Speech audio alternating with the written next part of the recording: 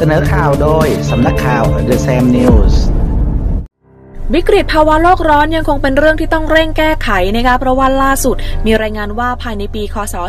2500 ทุ่งน้ำแข็งทุนราในไซบีเรียอาจจะละลายหายไปเป็นพื้นที่ป่า แล้วก็อาจจะปล่อยก๊าซเรือนกระจกที่กักเก็บไว้มากถึง 1,400 กิกะตัน เข้าสู่ชั้นบรรยากาศทั่วโลกทำให้สภาวะโลกร้อนเลวร้ายยิ่งขึ้นไปอีกค่ะ โดยทีมนักวิจัยและนักนิเวศวิทยาแห่งสถาบันอัลเฟรดวิกเกอร์เนอร์ในเยอรมนี ได้พัฒนาแบบจำลองทางคอมพิวเตอร์ ที่สามารถติดตามวิวัฒนาการของทุ่งทุนดราในไซบีเรียได้อย่างละเอียด ซึ่งโมเดลนี้จะช่วยประเมินการเจริญเติบโตของต้นไม้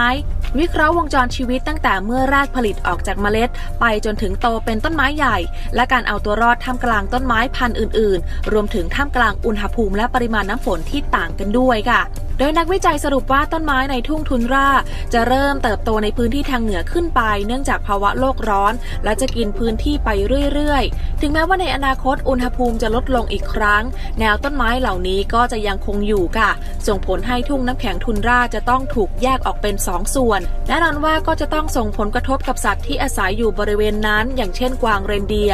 แล้วก็ยังส่งผลกระทบกับวิถีชีวิตของชนพื้นเมือง ที่ล่ากวางเป็นอาหารเพราะสัตว์เหล่านี้มักอพยพจากเหนือลงใต้และกลับมาอีกครั้งในทุกๆปี นอกจากนี้หากย้อนกลับไปเมื่อเดือนกันยายนปี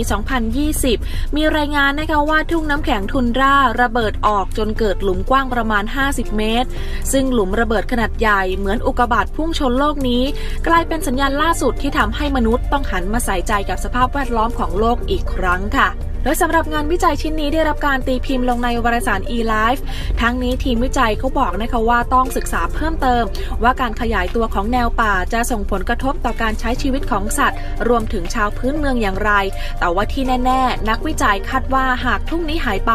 มันจะเป็นการสูญเสียครั้งใหญ่สำหรับมนุษยชาติเลยทีเดียวค่ะ